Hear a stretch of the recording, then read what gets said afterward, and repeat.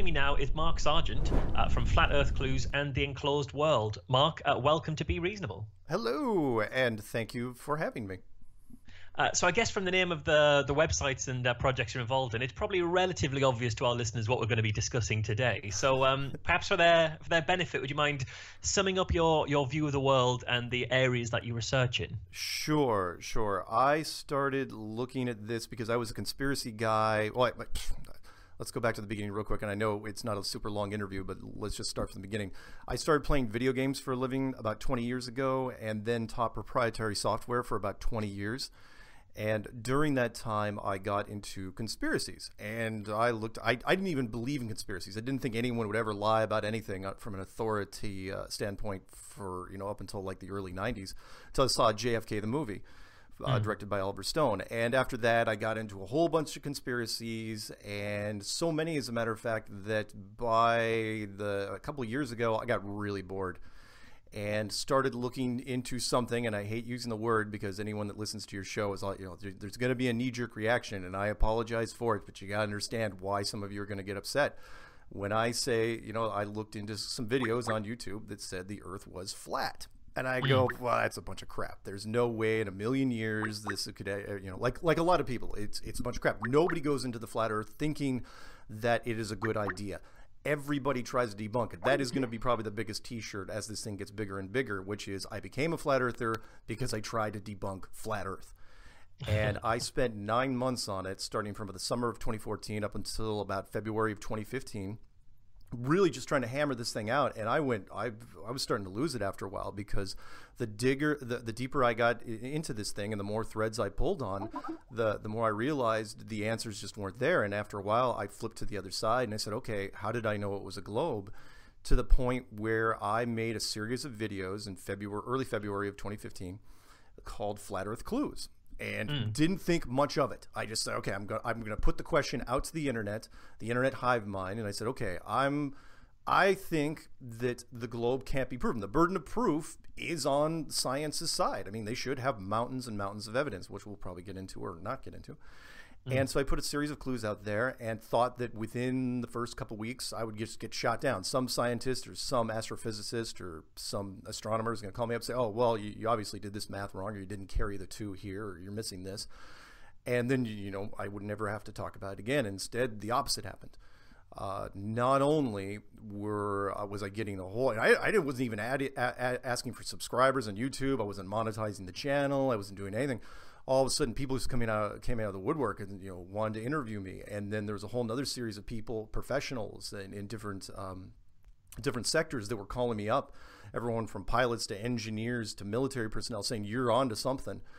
And the, it just started, and then all of a sudden the spin-offs people started doing you know more and more channels started popping up and, and started doing it and the, the, a company out in London called me up and says, "Hey, we'd like to turn uh, your Flat Earth Clues into a book. Would you mind if we published it?" I said, "Sure, go ahead." And people called me, "We mm. want to do apps. Let's let's turn this into a radio show."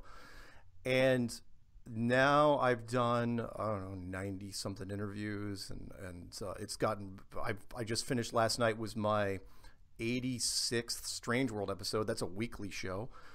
Okay. And it's still nobody out of all, and we'll, we, hopefully we'll get into it. I know we don't have a ton of time, but out of all the people, I've got like 20 something people that have call, called me up from the professional sector giving their testimonies.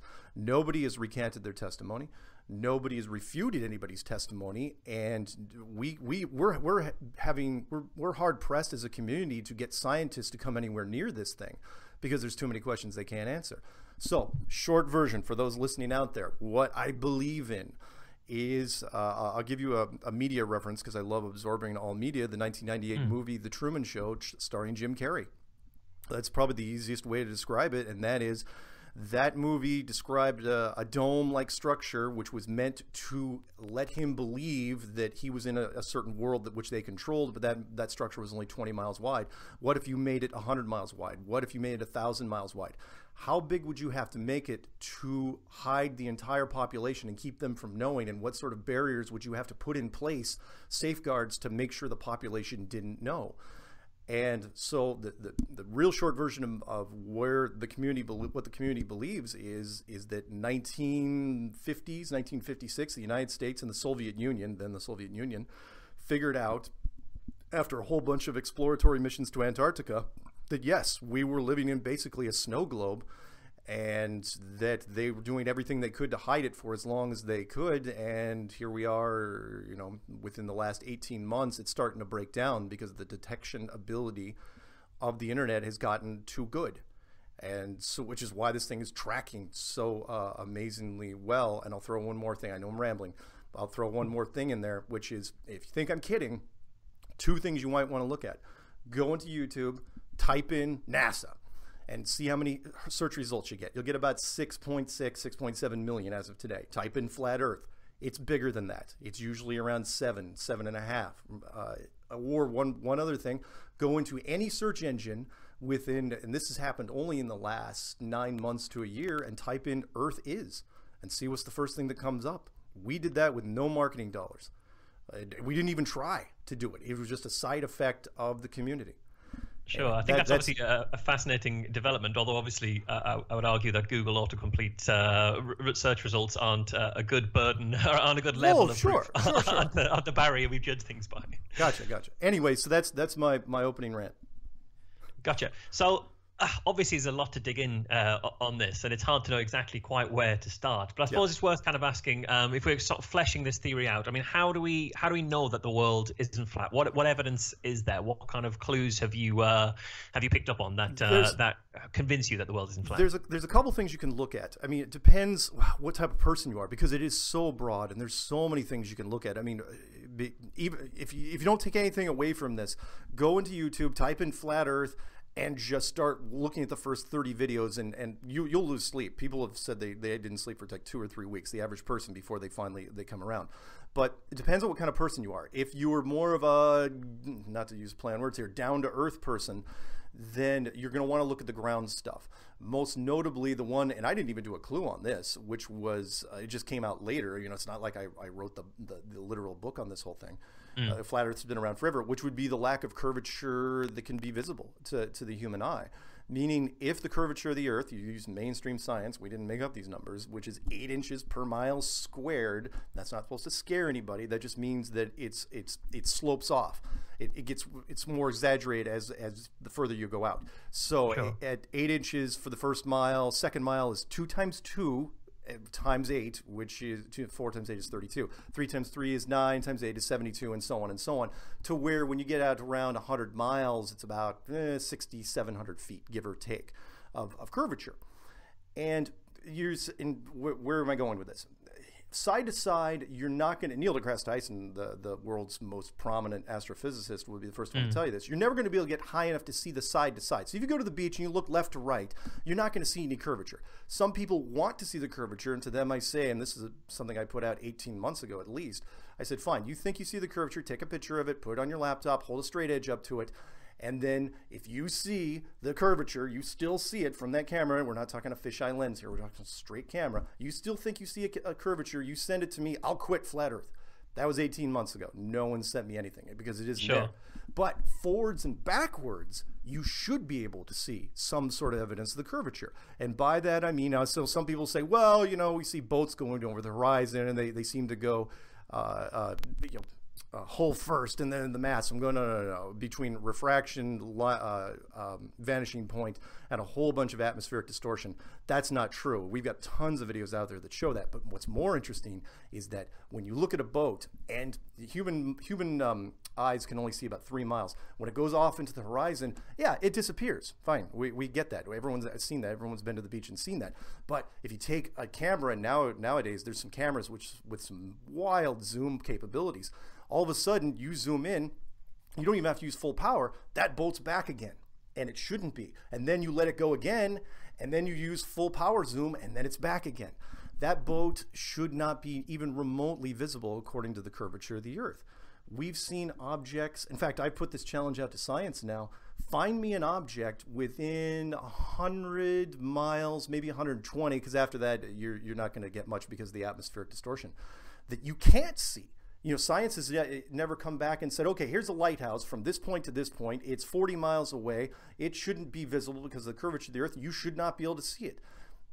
that no one's ever ever put that we've all we can always see it uh, the, there's so many examples out there and it doesn't matter if it's a still shot or time lapse those that would be the first thing I would look at from it from a ground standpoint. If you want the, the, the quickest thing without doing a whole lot of research on your own, and you have access to a body of water because it's easy because it's flat, that's where I would send people first. Go to a body of water, look across, measure it, go to Google Earth or whatever you want to, see how far it is, look up the, the table and the curvature of the Earth, and tell me why you can see it.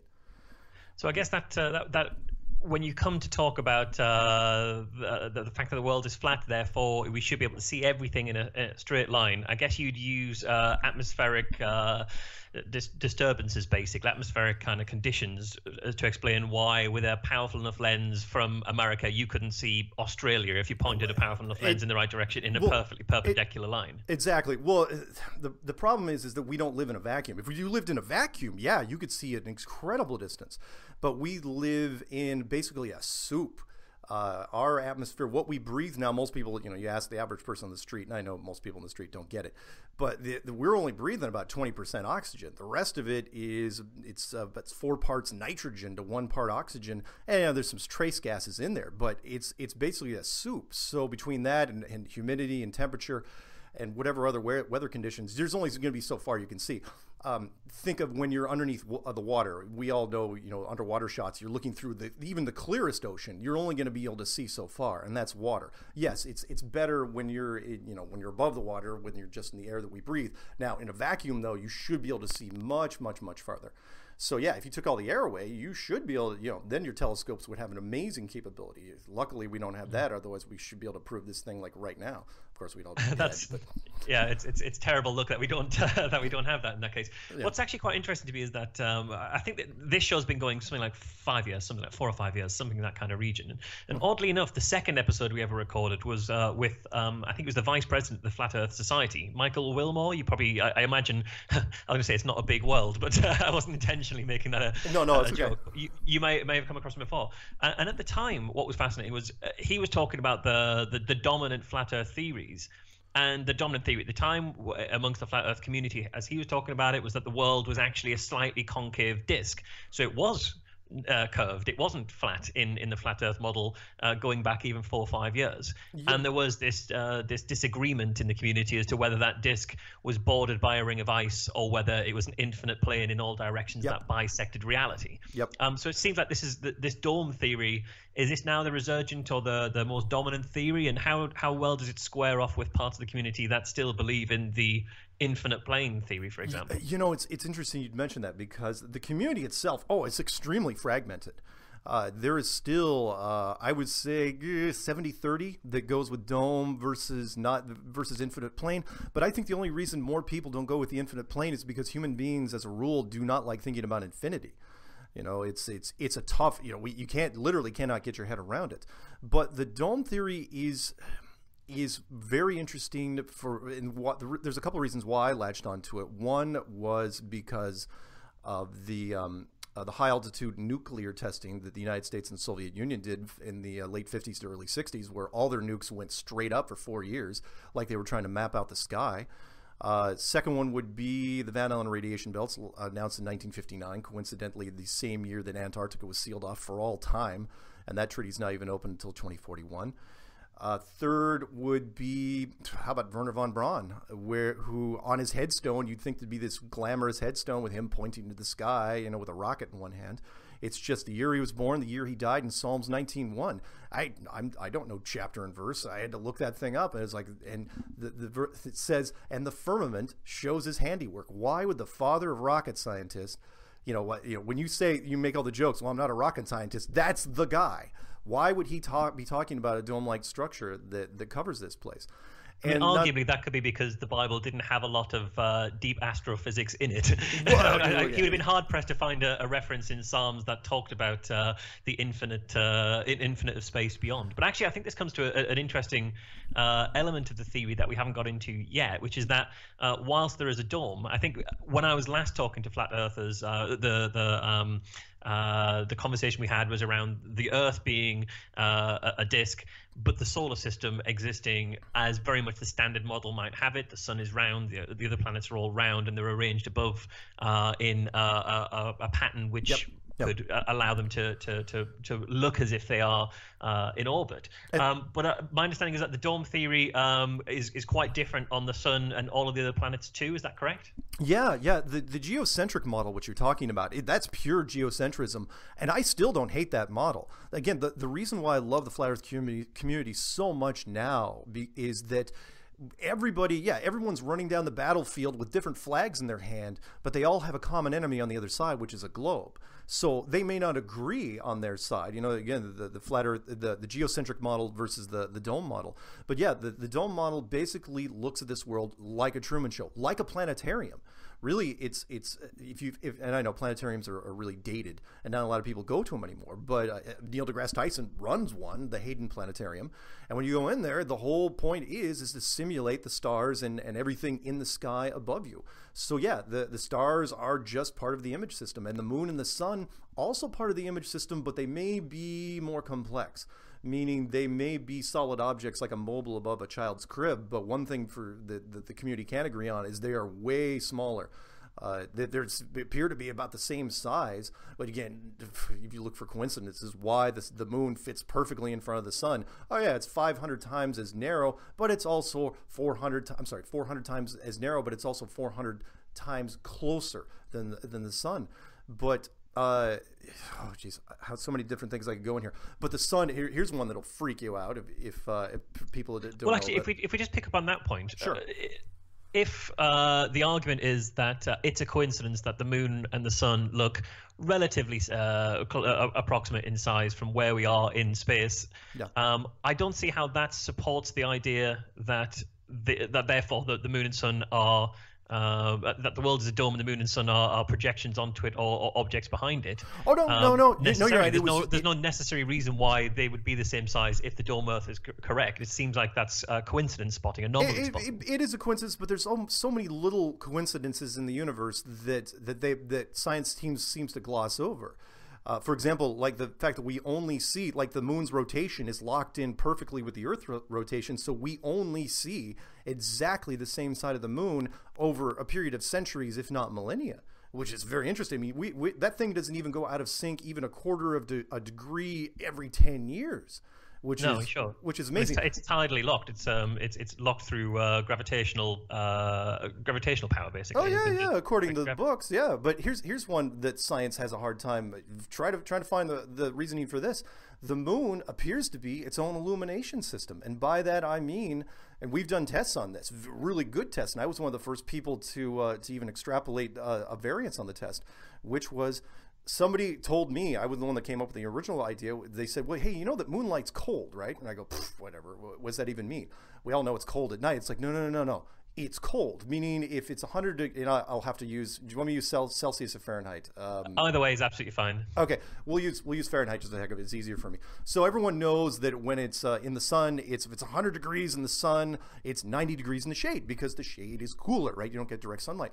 But when you're in the moonlight, uh, let's say it's 50 degrees in the moonlight, it's actually 60 degrees in the moon shade, and we've seen variations up to 16 or 13 degrees Fahrenheit. And you're going, that's that's not possible. And I was, oh yeah, very much so. It's easy to test, especially with digital thermometers. And I even suggested on a show oof, a year ago. I said, well, what happens? You know, everyone knows if you take a magnifying glass to the sun, you can burn paper with it. You know, you're magnifying the sun. Mm. What happens if you put a magnifying glass up to moonlight? Does it get warmer or does it actually get colder? Turns out it actually gets colder and the only way you can do that, we can do this now with technology. It's called a cool laser, where you can use laser beams, a special type, to actually chill things. The question is, why is the moon generating a cold light? And you're thinking, okay, what does that got to do with the flat Earth? It's like, well, does it prove the flat Earth? No, it doesn't, but it certainly puts a huge doubt on the relationship between the sun and the moon because you can't tell me that the moon is reflecting the sun's rays, converting it into cold light it, it can't be possible. And if that if that's the case, well, then the moon has to be self illuminated.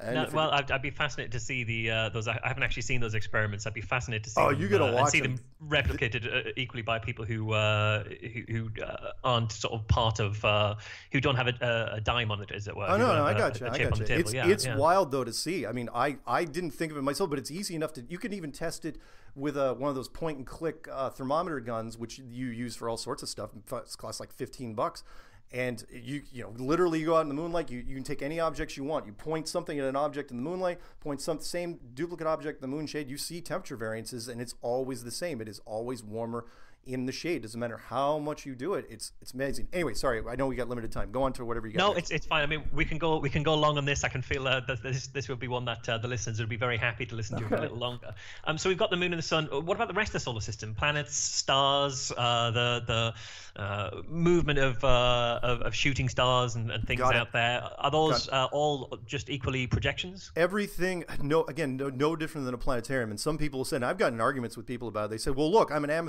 amateur astro- astronomer. I have taken a telescope. I have seen the moons of Jupiter. I go, that's fantastic. That's great. Take a pair of binoculars, go to a planetarium, sit down, let your eyes adjust, take a look at Jupiter. Do you see the moons of Jupiter? He's like, yeah, but I'm inside a planetarium. I'm going, that's the point. Who's to say that when you walk outside of that planetarium, you just didn't walk into a bigger one? Uh, the meteors, comets. Now, the only thing different there would be shooting stars that actually enter the atmosphere. Mm. And uh, I got to throw that that argument back at science, which is okay. Thousands of satellites, and up until now, we still can't get a good consensus of exactly how many satellites are up there.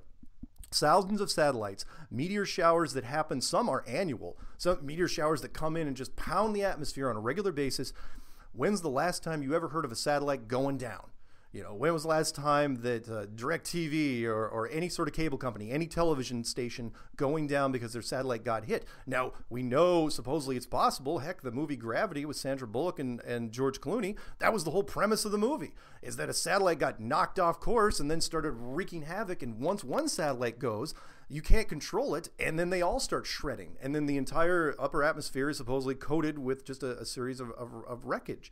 Why isn't anyone ever worried about meteors ever hitting satellites? Why are there no pictures of satellites taken from other satellites? Everything is CGI. You all, you, you look up, go into Google, type in pictures of satellites. You see a, a, a, CGI drawing of satellites. Why isn't the ISS ever take a picture of a satellite going by below them, or above them, or anywhere near them? Uh, sorry, I'm going off on a rant here. But the no, point no, is, that's short, fine. Short, but you're, so you're, you're, you're questioning uh, in that. If I'm just unpicking that, you're saying that yeah. uh, the pictures of satellites are all CGI. Uh-huh. Uh, so one satellite doesn't take a picture of another satellite, which nobody, nobody presupposes the existence of satellites. And you say that why the satellites up there not taking pictures of stuff, but the satellites up there are up there. so that assumes well, that there is a well, there then that that leads into a whole other thing, and and this will be easier for you because you're you're out in the UK, which is who told you there were satellites in the first place? The same guys that said they went to the moon? The Americans? Those guys? Because eventually that's where all these arguments will lead back to NASA. And you know, because NASA, NASA was hasn't sent every satellite up. I mean, India's got a, a burgeoning space program. They've sent. Uh, oh, sure, sure, sure. I mean, but NASA blueprinted everything. Remember, NASA was the one that started it all every other space program, and I don't care if it's the Europeans, the Japanese, the Indians, the Chinese, take your pick. By the way, you also got to ask why there is no UK space program. It's not because of lack of technology or motivation. I think it's they knew better. Pick into um, the European Space Agency, ESA. Uh, well, we, we, yeah, we just landed a, a, um, a what you call it, a thing on the a comet in, in uh, the back end of space somewhere. I, I forget the I exact you. terminology, but let, was, let, was a... let, me do this uh, the, the, because eventually here's what happens because the average person on the street is going to have to lean or crutch on NASA.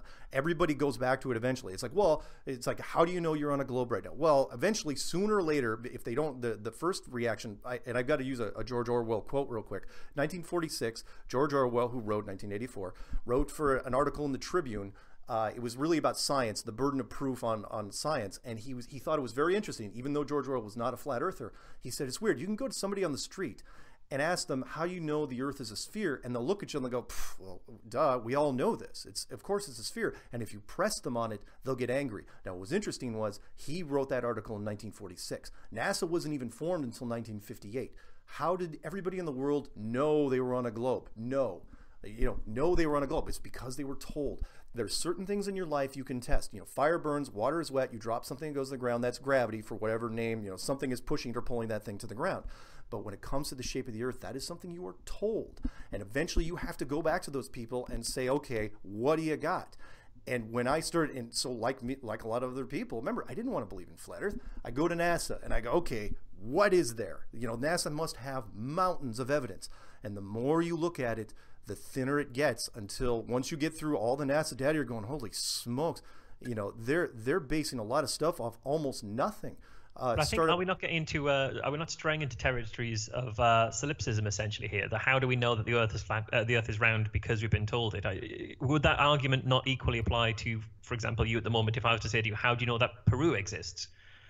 I, I, doubt you'd find that you have. Well, yeah, yeah, but you, but an awful lot of very concrete you can, evidence. You, can, you, say, well, there's a map over there, and I've, I've heard people being from Peru. I've seen the Peruvian national football team on television, uh, and it'd be very easy to, for me to show that that's all a big conspiracy Ex, in Peru. Excellent. No, no, no, excellent point. But eventually, given enough funds or whatever, you can go to Peru. You have the ability to go there. There's only 500 people in the world that even, have even claimed to have gone to space, and 98% of them are military. In fact, most of them are United States military. They all start out with air, an Air Force.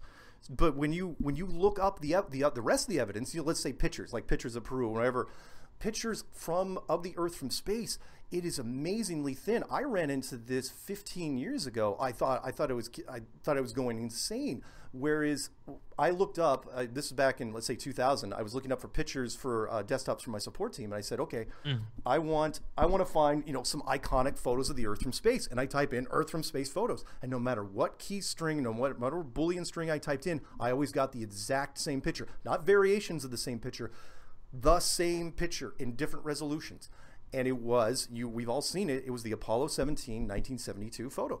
There was literally only one photo full disc in sunlight taken picture of the earth from 1972 up until the summer of 2015 literally. That is an absolute fact. We know this because the white house in the summer of 2015 tweeted when they got the second one not a big coincidence after we were asking for it that it's like oh yeah the second blue marble shot ever. Uh, the White House tweeted it, Neil deGrasse Tyson retweeted it, and the an article itself was um, the press release was written by Scott Kelly, supposedly from the ISS.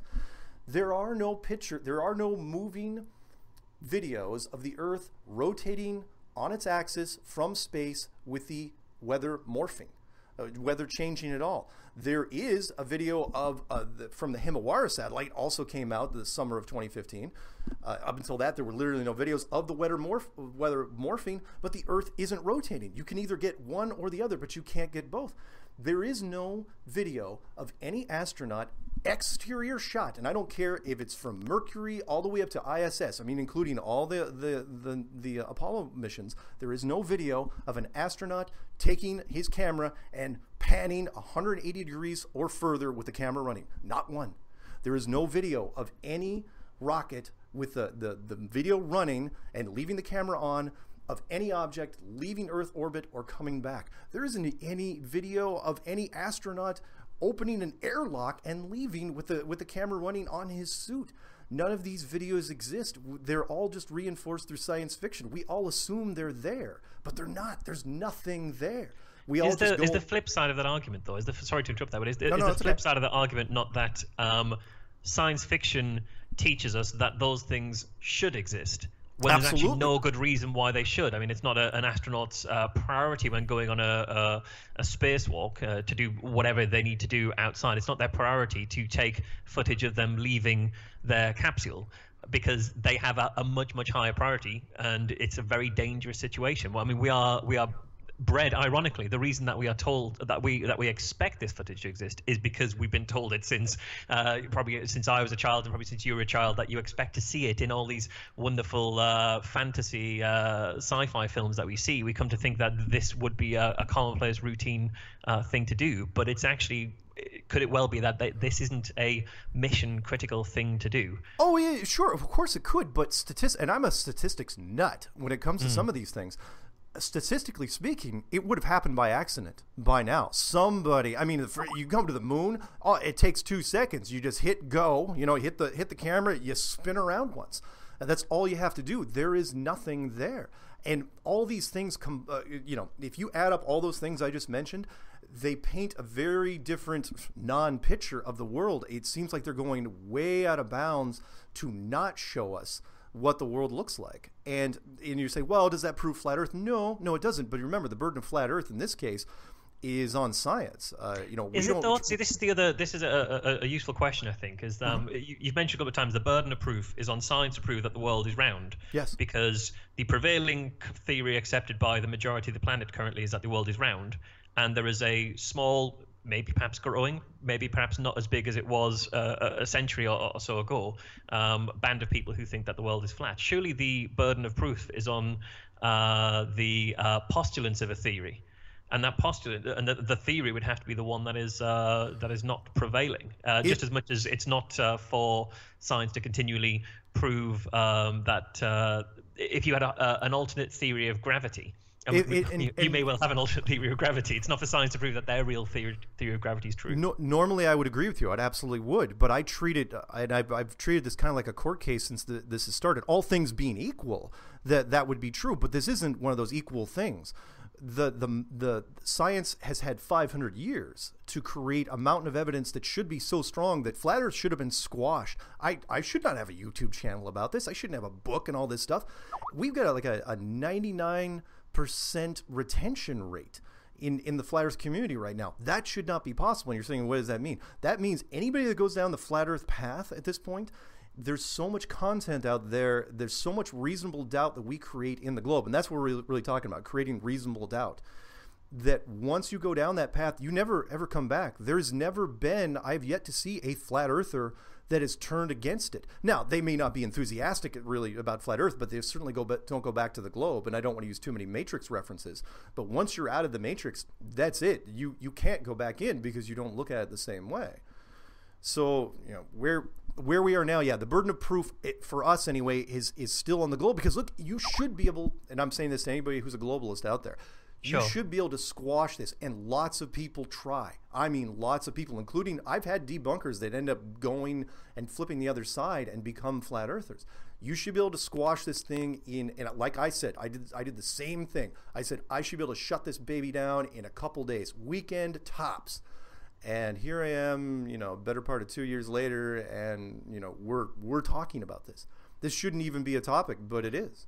Well, I, and this is this is you know part of the reason that I, I wanted you on the show. I think because I think I find this topic absolutely fascinating because it, it seems to be the um, uh, almost the watchword for anachronistic thinking in, in, in, sort of colloquial parlance. You know, people say, "Oh, well, you might as well believe the world is flat." It's kind of oh, yeah. our go-to reference for for anachronism, and yeah. yet it's it's persistent, and I find that very interesting. I, I agree that many people have uh, doubtlessly tried to um, uh, debunk or, or to, uh, to to dissuade proponents of flat earthers, but I, I wonder how many people really look at the amount of depth that's in the theory, and so they go in uh, all guns blazing on the obvious stuff, and the obvious stuff is the the stuff that you know everybody who would believe this theory has already thought of a million times, but it's the more uh, off the wall things that I think are, are, are, more likely to, to be persuasive or, or um, raise questions. Yeah, the, the reason why science is having a tough time with it, and we're really having a, a difficult time getting any heavy academics to come at us, is because there's certain questions they cannot answer. Um, I, I, throw a couple more little tidbits out for you. The um, the Van Allen radiation belt, which I told you was announced in 1959 by NASA employee uh, Van Allen himself, and when he said it, he said, "Look, it's super deadly. No one should ever go there." And I go, well, "That's great. That's exactly how I would try to hide the world. You announce the upper edge and the outer edge, and you try to seal them off." And yet they tried to do the space program right afterwards. And they said, "Well, hey, how are you getting past the Van Allen radiation belt?" And his literal answer was, "Well, you're just going to go really, really fast." I was going, whoa, whoa, whoa, whoa! You said it was like sixty thousand miles thick in some cases, you know, and and people, you know, the, the, Apollo astronauts supposedly did round trips from Apollo eight all the way through Apollo seventeen. Nobody died. Nobody got radiation poisoning. Nobody got cancer. Uh, the, the the capsules should have been irradiated and and you know completely contaminated to the point where you never would have put them in the Smithsonian. They don't even talk. You you you go to NASA and it's a question I still am asking them, and I say, okay, what shielding did you use? To get the astronauts to the moon and back. You just get crickets. No one will talk to you about it. Uh, it's it, there's only two metals out there that can stop radiation right now. It's lead, which you wear in any dentist's office, and gold, mm which is twice as dense as lead. No one will ever ever talk about it, and I think it's it's amazing. You know, the, and and if you ask any ten scientists about the, they'll they'll all give you different answers. Well, we avoided it. We went out through the donut hole in the top, or we you know we had shielding, but I don't know what it is. It's like really, what what what, what are you talking about? That and one one more real quick thing. If you think I'm kidding about that, look up. And this video is still on the NASA website right now. It was made in 2014. It's called Orion Trial by Fire, where they're talking about the Mars program and they're saying, oh, yeah, the capsules, we're testing those. Uh, they're going to be unmanned at first because we still don't know how to get past the Van Allen radiation belts. I'm going, what are you talking about? well, why would you make a video like this? You went past them in the 60s. Why are you talking in 2014 like you've never ever gotten, you've never left the Earth's surface before? It's, it's incredible. It's amazing that that video is still exists to this day. But I mean, for that to be the case, it, so let, us accept that the theory is that uh, NASA faked the whole thing. Uh, yeah. Have been lying about it since. That Tim Peake is currently uh, squirreled away in a desert somewhere, pretending he's in space. And Chris Hadfield before him was uh, was doing exactly that. And there's been a, a long succession of uh, astronauts who've you know signed their, their, their same initials on the same toilet wall in a in a bathroom stall somewhere in a, in a military compound in the desert for you know 40, 50 plus years of uh, of exploration. Yeah. Um, it does raise the question then if NASA and uh, the number of people who've been in and out of NASA in that time, and the number of people so, surrounded by it, uh, uh, if if this is something that they're hiding, yeah, and that would take an enormous amount of complexity. Why, no. in, in, what world would they be so stupid as to make such an, uh, a fundamental mistake as the one that you just mentioned? Well, that's just it. I don't think. Well, to answer the first part of your question, I think very, very few people know uh, about this, meaning uh, from from a logistics standpoint, only the telemetry guys have to know. I do think the Apollo astronauts knew, and that's what crushed them. Uh, their souls. They, the, all the all the Apollo astronauts became recluses or, or, severe alcoholics. They just didn't want to talk to anybody because I think they told them. I think the initial training program was, oh yeah, you guys are going to be heroes, and then they said later, okay, you're going to be faking it. Here's why. I think all other astronauts after Apollo, they're told, yes, you're going to be faking this in zeros G planes or underwater scenarios or whatever. But American astronauts you're talking about. American so astronauts. Someone like I mean, uh, Yuri Gagarin or someone like that would have been in on it as well, I guess. The, the, Russians would have to be in on it. I mean, the Russians, mm. the, the Russians and the United States were hand in hand doing the quote unquote space race, was space race, which I don't think it was at all. I think it was just the militarization of space. But when it comes to the, the blunders where you're talking about, again, I don't think, I think that mistake was either made deliberately or somebody in the production team absolutely forgot their history and didn't know what the hell they were talking about.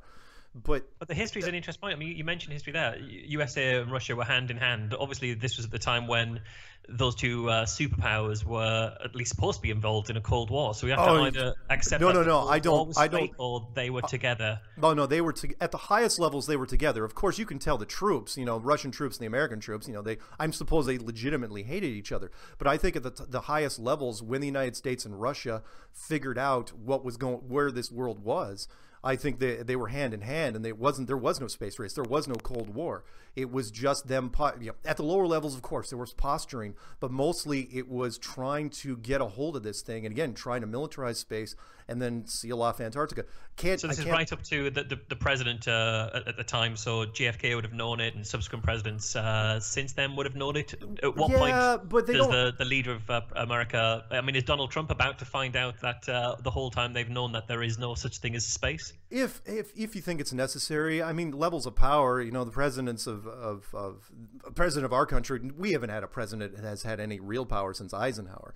Eh, you know all the all the money men. I mean, it's the first rule of power, and that is first rule of power is stay hidden. You know, it's make sure make sure you can never ever be overthrown, which means the most powerful people are not the people in public office. But will Trump be end up finding out about it? Yeah, sure, maybe. Will he do anything about it? Doubt it. Uh, you know, he's he's probably has a gag order like everybody else. I, I can't let this go because again, it's one of those super important things I got to mention. That is Antarctica, sure. which is uh, Antarctica is a no man's land for just about everybody. Yes, if you, Michael, wanted to go to Antarctica tomorrow, you could spend your 10,000 pounds, I think it would be, and go to the peninsula and have your pictures taken with penguins. But if you had a corporation that wanted to do any work down in Antarctica, you are forbidden from doing it forever. The Antarctic Treaty, which was put into place in 1959, it is not even up for debate until 2041. It is ratified by every nation in the world. Uh, it, we're talking about it doesn't matter who you are, you know, China, Russia, UK, and America. All these countries have said that nobody owns Antarctica, nobody gets to go down there, nobody gets to do any resources. And I'm going, and when I realize, you remember over in the United States here, uh, petroleum companies, you know, of Exxon, let's say British Petroleum, uh, just take mm. an example, wanted to start fracking in my backyard tomorrow, they absolutely could do it. You know, it's just a question of how many people you have to bribe. That comp- corporation, doesn't matter how much money you have, cannot go down to Antarctica. Not only can you not go down and do work down there for any resources, you're not even allowed to talk about it. That's the other part. You why don't why don't I, the president of Exxon, go to the New York Times and run a full page ad once a month saying it'd be great for Exxon to be in Antarctica, it'd be great for America. Never ever happens. Antarctica is sealed off for all time. No one, no one ever talks about, it. and it was sealed off. And what do you think's happening there? Oh, I I, th- I think they they was the the less of all evil, least of all evils, which is once you let a corporation down there, and I don't care if it's Alcoa, if it's a mineral company, if it's a, um, a petroleum company, if it's a gas company, once you let a company down down there, it becomes a slippery slope. All you need is one uh, exploration plane, one helicopter that goes off course, and eventually they are going to see something that they aren't supposed to see, which is what Admiral Byrd, a whole other story for another show. Uh, Admiral Byrd, which I think he found in 1956 during Operation Deep Freeze, when he was down there, he was down there for almost 30 years flying his own planes looking for something. Found it during Operation Deep Freeze, and the second he found it, every other country on there left the ice at the same time, like their lives depended on it. And I mean everybody the US, Russia, um, UK, Argentina, New Zealand, Chile everybody left at the same time. They immediately started putting the treaty in place. Why? Why, why would you all of a sudden do that? You can't say it was for environmental reasons. Not in 19, not in late 1950s. Environmental uh, environmentalism wasn't even a concept. Greenpeace wasn't even formed until 1971. I mean, how much we, how much space are we talking about there for Antarctica? Uh, well, that's just it. If, if Antarctica is what we think it is, Antarctica is a huge place. It is not a continent that's uh, that's shaped like um, Australia. Uh, Antarctica as a continent, uh, even even how science describes it, is the most unique thing uh, that we have. It is um, it's a 200 foot coastline of ice, you know, just straight up. You know, when, and then once you get on top of that thing, then it slopes up to about two miles, plateaus out at about two miles. That's like 14,000 feet and gets up even higher. No animal life, no plant life. We, we, of course, there's penguins on the coast, but that doesn't mean anything there's no resource you know i'm sorry there's no there's nothing for you to live on when you get there. And if, if you believe, and that's just what science tells us about, but what the, the flat Earth community believes is that it is way way bigger. It is th- from the, the from the coastline. It is not a continent. It is a huge ring continent that surrounds this entire place that goes thousands of miles in and surrounds the entire uh, entire world we live in. It is the edge. What makes you think? That, what makes you think it goes thousands of miles in? What what evidence do you have that oh, it goes oh, thousands oh, of miles a, in? A couple couple reasons. One would be uh, that Admiral Byrd, when he was looking, when he got there in 1928, and you know, granted his planes weren't good in 28, but by the time he got to the 1950s, they were actually pretty good. He was looking for the better part of 30 years, and knowing uh, some of his previous exploration routines, he was just going to start making refueling stations and trying to map this thing out. And he goes on national television, and, and that thing's on YouTube, and I put it on one of my clues, 1954, uh, the Long John, I'm sorry, Longines chronoscope and says that look, he, he goes, there's a there's a part of the of Antarctica that's even bigger than the United States that I haven't even seen yet, past the South Pole.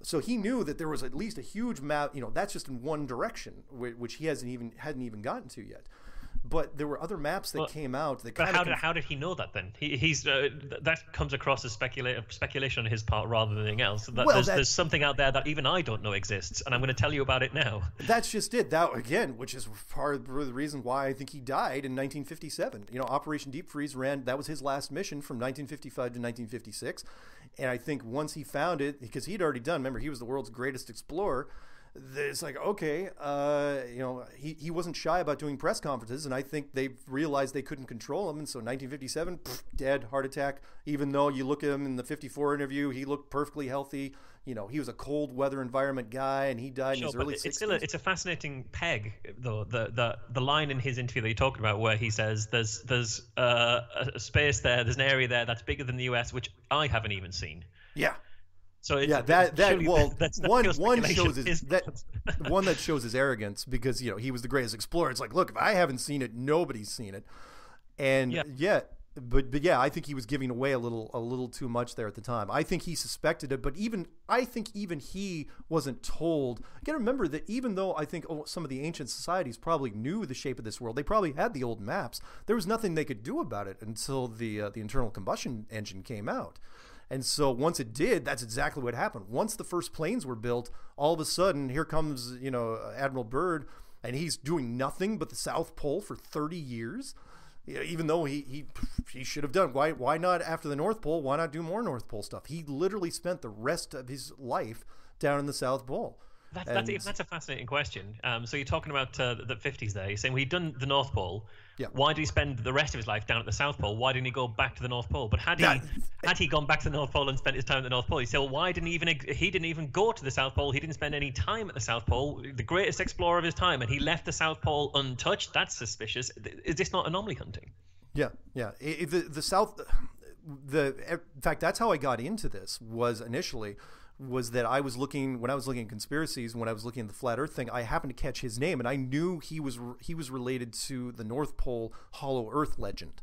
Which was that in hmm. 1926 he takes a rickety plane up there and supposedly finds an entrance into you know some subterranean cavern, and, you know a whole journey to the center of the Earth thing. And I thought, wow, that's really interesting. One would have thought he would have spent the rest of his you know time doing the North Pole, but he was immediately reassigned, and whoever was backing him, you know, there was the, he had an unlimited budget, and he just kept going mission after mission after mission, uh, with the exception of the time. Another little side note.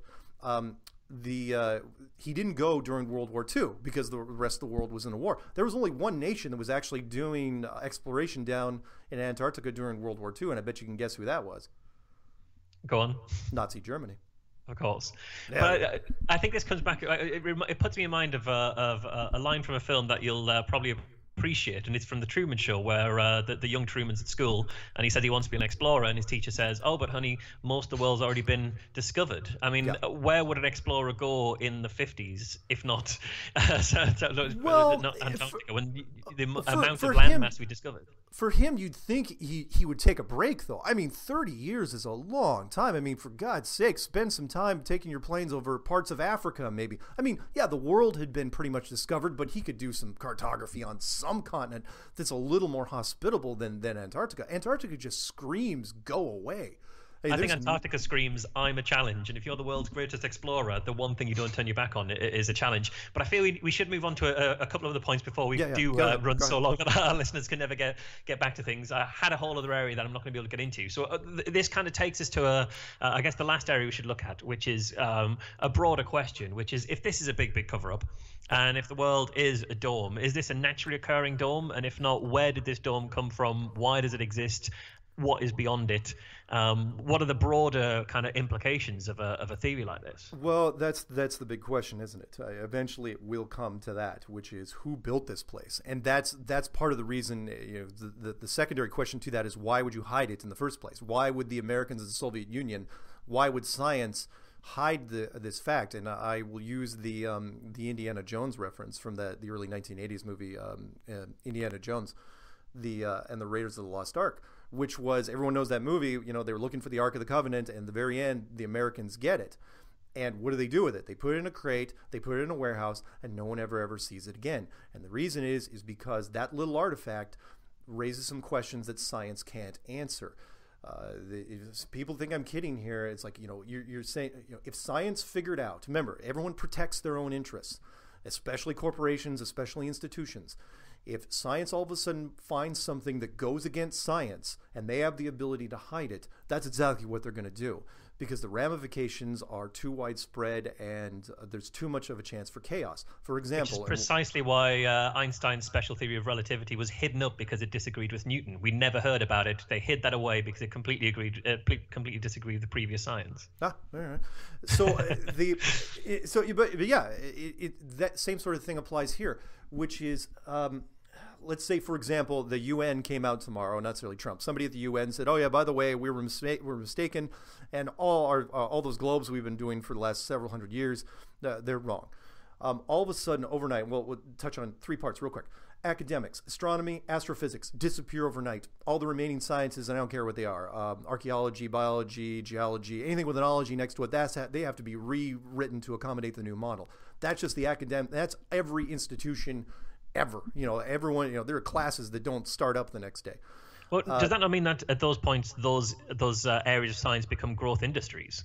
Well, yeah, yeah, potentially. Ev- Absolutely. Now everybody, suddenly, uh, uh, everything we thought we knew, uh, known by this point, had been uh, wrong. So we'd now got a hell of a lot more stuff to discover and explore. You'd think Oh, every nation in the world would pump their money into figuring out what was going on to in order to exploit uh, the reality of it first. But potentially yes, but there's a there's a flip side of that, and the second part is you know because we our civilizations, a lot of the money we make and and a lot of our industries are based on war and war related activities all of a sudden, it, how how viable does war become if we all be, be, be, get part of the become part of the same family economically? There are entire industries that would be in huge jeopardy. And those industries are, are so big that I'd hate to say, you know, too big to fail because that's too much of a cliche from the financial collapse. But AIG is nothing compared to that. Uh, not to, to, take one more thing again, eh, you know, there's different versions we could go with this. Uh, NASA, that would be the, the biggest, or any space agency, the biggest class, series of class action lawsuits in the history of our civilizations. Those class action lawsuits have the potential to bury entire countries. But the biggest one of all, which leads back to why, you know, who built this place, would be the, the spirituality side of it. You know, I, I was a churchgoer uh, for, for years until I got to college, and mm-hmm. then I kind of fell away from it. And that is, if this place was built, and, and I'm not going to define God here, but if this place was built, that means you've got proof of intelligent, uh, intelligent design. The, the dome structure, you know, screams it. Um, I'm not saying it's the handprint of God, but it's at very least it's a higher power than us. And if it is a higher power than us, well, that changes pretty much the paradigm of just about anybody that's got any sense of conscience, which is do you go to war? Do you start firing your rifle at the guy across from you if there could be a higher power? Again, I'm not going to say who God is, but there's a higher power potentially looking over your shoulder maybe maybe not you know directly looking over your shoulder, but possibly a parent on the couch looking over the top of their newspaper. You don't know, but are you going to do that? Are you going to commit hate crimes? Are you going to commit, uh, you know, what about sexism, racism? Are, are you going to do anything malicious against anybody? You know, uh, yeah, I'd love to think that uh, that this society uh, with a, a, confirmed higher power would be utopian. But I mean, we see even in the the, the modern, uh, the current model, um, you see Carl Sagan uh, having the, the Voyager turn around to take a, a, picture of the Earth, a pale blue dot from the furthest away that it could possibly be as the Voyager leaves the solar system, and points yep. out that every single human being who's ever lived is in that little speck of dust, and basically all our differences are, are, are petty and meaningless, and that certainly didn't uh, have the, the yeah, effect. but that's but that's not as visceral as as having. You got to remember, eighty percent of the population of this world uh, is is influenced in some way or another by one of the five ma- major religions. You know, Judaism, Hinduism, Buddhism, Islam, and Christianity. All these groups would have a stake in this, and not only but that. That's only if that's only if the higher power was uh, able to intervene. I mean, do you believe that the that the dome Earth is self-maintaining and has no hand on the tiller? Uh, well, and if so, what about when an asteroid comes crashing out of the sky, or in the Truman Show, I guess a uh, a camera comes dropping from the from the, the, the ceiling? I think I think there is an automated process to this, no no question. Uh, you know, but it's it's the it's the mundane stuff. It's the uh, the jet stream, the underwater conveyor system, uh, the magma system. I think those are all all self controlled.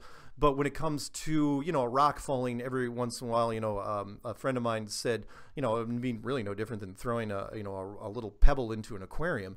Those those would be part of the system too. Now whether or not they're deliberate, I will say this though: how many rocks have you ever seen that have come in that have actually hit a populated area? Well, the dinosaurs got wiped out, and uh, they certainly saw. Yeah, yeah, but but I consider those previous versions. And oh, that's another thing. I don't think for a second that, that we're the first people to rent this apartment. I think there's been previous versions going all the way back to version one, which was probably you know the Pangea continent. Uh, you know what? What about the version that held Atlantis? The the version that had the underwater, the cities that are now underwater outside of Japan or underwater outside of India. Who actually built the pyramids? I was there. The Egyptians did not build those pyramids, not in a million years. Well, maybe in a million years, but definitely not. yeah. What about 4.5 billion years, which is the uh, the age of the Earth? I mean, uh, well, uh, the carbon dating system goes into question as as well. But but here's here's the big thing. All those things I just mentioned to you. That's the reason why you hold on to this. That's why when you and it was an easy board meeting. I'm sure back in the 1950s, you sit down and they rattle off all this stuff. They're going, yeah we're not going to let this thing just start because if the potential for chaos is there, the potential for the population is you're absolutely right. Utopia pff, probably not. But you know, there's also the, the potential that people are going to be running around with torches and pitchforks, just start you know burn it all down. So you hold on to it for as long as you can. You spend as much money as you can, and you try to be clever in, in, in that you don't, you know, you don't put up signs everywhere because people get suspicious of signs. Antarctica, that was easy, you know, because nobody wants to go to Antarctica anyway. Militarizing space, that's relatively easy. And then when finally, when private space companies come along, like now, you either kind of let them into the fold or you slow down their programs because remember, most of the engineers that they get are ex NASA guys anyway, or ex other ex other space agencies. I could go on and on. well, I think uh, it's probably a, a, good time to sort of bring it towards a conclusion. But I want to finish with one one last little question. It harkens back to something you said right at the be- beginning of this and right at the beginning of, uh, of your journey. You said you were really into conspiracy theories and you, you read into kind of every one. There wasn't a one that you uh, that you kind of uh, didn't kind of explore. Yeah. Um, are there any that you used to believe in that you now would say, well, that's obviously not true? Oh yeah, there's in fact there's only one uh, out of all the this will the, the, flat earth thing does something really interesting and that is it makes you reevaluate every other conspiracy you've ever looked at and most of them actually dovetail in pretty good pretty pretty good uh, you know the um, uh, even the apollo missions which I, which I, I, I like to say i that I couldn't understand why they would why would they want to fake the Apollo missions. And then I looked at flat Earth and it's like, oh, of course they have to. The only one that doesn't fit in, and unfortunately, um, in fact, he was supposed to debate me and he backed out at the last minute, which was Richard Hoagland, and that is the whole thing about how there's millions of people living on the moon and there's millions of people living on Mars. That's that's really the only set of theories that doesn't fit in with this that doesn't blend in nicely. So the rest so, of them, no, the only, Yeah, the only conspiracy that you let go of was the one based on a planet that you no longer believe exists. Yeah, yeah, that was basically it. Any yeah, anyone that talks about that there's something there, oh yeah, I've you know I've got proof that there's a base on Saturn. It's like yeah, yeah, whatever, not buying it.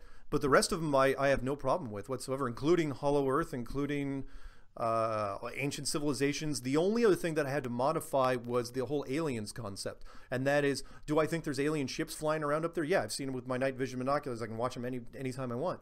But uh, do I think they're from other planets? No, I don't. In fact, I think quite a few of them are probably older, previous versions of our civilizations that are stuck in here with us, that have been here for a while, and they're not allowed because of protocols to, to deal with this. Anyone has any doubt?